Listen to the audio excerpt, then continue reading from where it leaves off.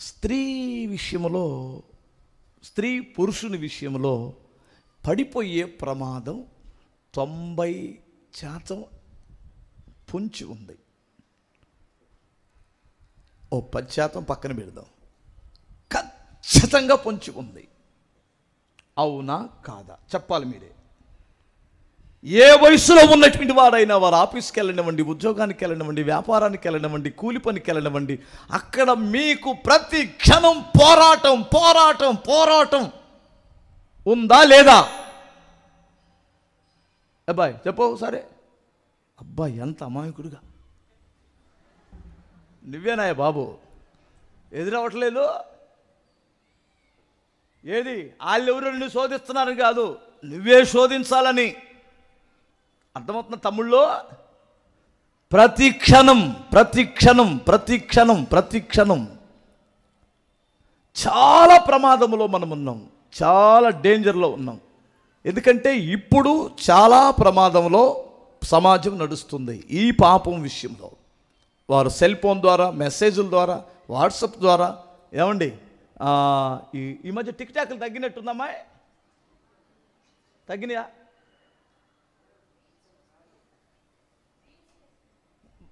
పేరు మార్చారా? చేస్తానే ఉన్నారా?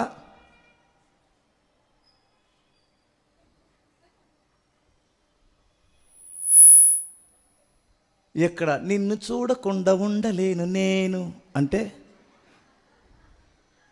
ఇక్కడెక్కడో వాడిది సైతాంది వాడు దీనికి ఆధారణ పెట్టి నువ్వు లేకుండా నేను ఉండలేను అంటాడు వాడు. ఇప్పుడు మధ్యలో ఈ లాయన్ చూసి ఏం కావాలా? వాడు ఉండాలా పోవాలా?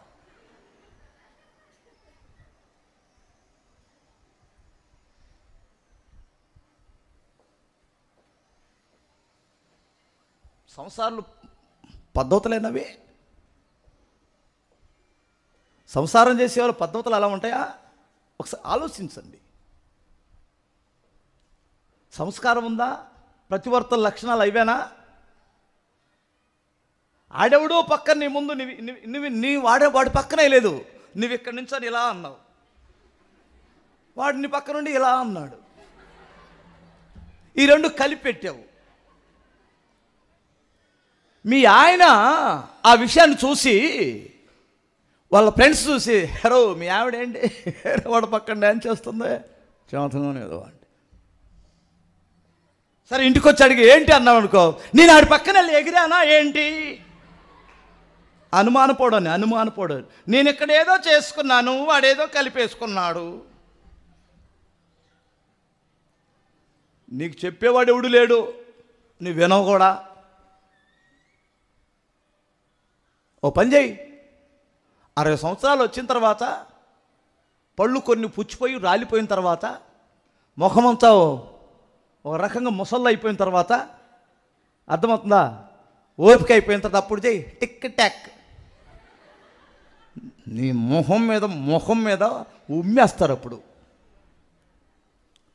ఆడ మనిషి తన అందాన్ని ఎంతగా రహస్యంగా కాపాడుకుంటుందో ఆ అందాన్ని తన భర్తకు మాత్రమే సొంతం చేస్తుందో వారిని ప్రతివర్తలు అంటారు నా దృష్టిలో మీరేమన్నా అనుకోండి అమ్మా కోపం వచ్చిన ఒకసారి ఒక్కసారి ఒకేసారి ఇక్కడే కోపాన్ని కక్కేయండి హల్లులో చెప్పండి.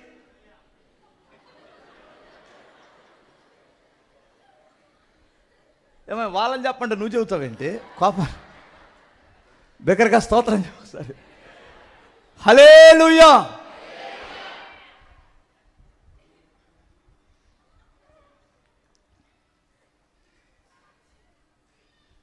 మీరు చేస్తారు చేస్తున్నారు టిక్ టాక్లో. ఏందమ్మా దాని పేరేంటి కొత్త పేరు? మాస్క్ తీసి చెప్పా. ఆ? రీ? ఏందా దాని పేరు కూడా రాదు.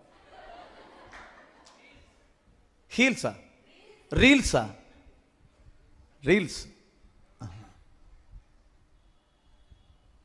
ఉందనా ఎవరు లేరు కదా? మన పిల్లలు ఎవరు లేరు కదా? Hallelujah okay. సంసో నేను ఒక ఆయన ఉన్నాడు కదా మీకు తెలుసు కదా.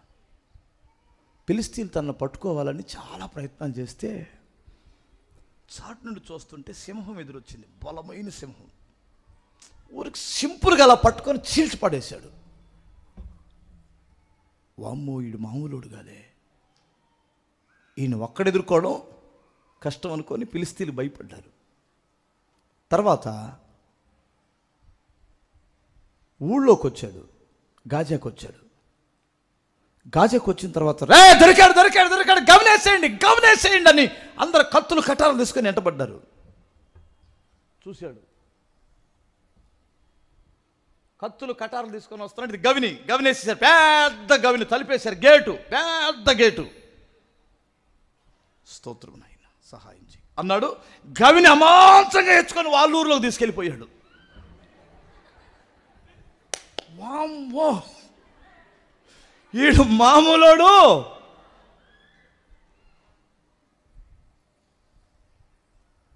అరే ఆడి భార్య ఎక్కడ ఉందిరా దాన్ని చంపేయండి. ఆడి భార్యని ఆడి ఆడు ఆడు వాళ్ళ మామని ఇద్దరిని చంపేయండి. అప్పుడు వస్తాడు చూద్దాం అన్నాడు. వాళ్ళిద్దరిని తీసుకెళ్ళి మంటలే చంపేశారు. ఎరా నా భార్యని మామని మీరు మంటలేసి తగలబెట్టేస్తారా? పొలాలకు వెళ్ళి మూడు వందల నక్కలు పట్టుకున్నాడు. నూట యాభై జతలు పెట్టాడు. కుక్కను పట్టుకోమంటే ఒక్కొక్కనే కుక్కని మన ఇంట్లో తిరిగే కుక్కనే దొరకట్లా. మూడు వందల నక్కలు పట్టుకొని అడవిలో దొరికే నక్కలను పట్టుకొని ముడేసి వాళ్ళ పొలాలను తగలబెట్టించాడు. వామ్మో ఈడు మామూలోడు కాదు. ఏయ్! ఇస్రాయిల్లారా మిమ్మల్ని చంపేస్తాం. వాడిని మాకు మీరే చేతులతో కాళ్ళు చేతులు కట్టి మాకు అప్పచెప్పండి లేదంటే మిమ్మల్ని చంపేస్తామని వచ్చారు. ఈ లెల్లి బాబు ఒరే నువ్వు చేసే పనులకు మమ్మల్ని చంపేస్తున్నారా? నీ దండం పెడతాం. మరి వాళ్ళకి దొరికిపోరా? అంటే సరే పని చేయండి. కొత్త తాళ్ళు పెద్ద పెద్ద మోకులు మోకులు తీసుకొచ్చి కట్టేసేయండి. వాళ్ళకి అప్పచెప్పాడు అన్నాడు. కాళ్ళు చేతులు శుభ్రంగా కట్టి ఈడ్చుకొని వెళ్ళి ఇదిగో బాబు మీకు అప్పచెబుతున్నాం మా జోలికి రామాకండి మీకు దండం పెడతాం. ఈ బలవంతుడిని అప్పచెప్పామన్నారు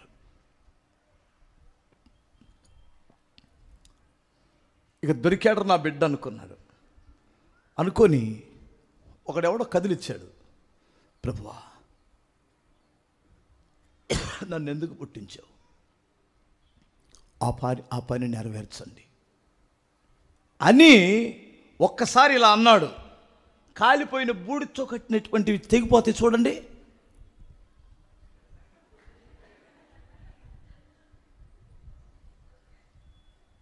ఎరగదీసేసాడు దగ్గర బండ సందులో ఉండి అలా అలా వస్తున్నాడు. రే దొరికాడు దొరికాడు! రండి! అన్నారు. మూడు నాలుగు వేల మంది సైన్యం దిగిపోయింది అక్కడ. కొడితే గాడిద ఎముకలు తీసు ఎముక తీసుకొని